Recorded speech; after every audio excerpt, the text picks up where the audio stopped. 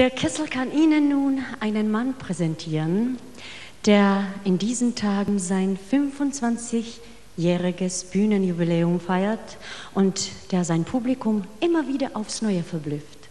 Lassen Sie sich jetzt verzaubern von Hardy Losau Romano und Zvetana.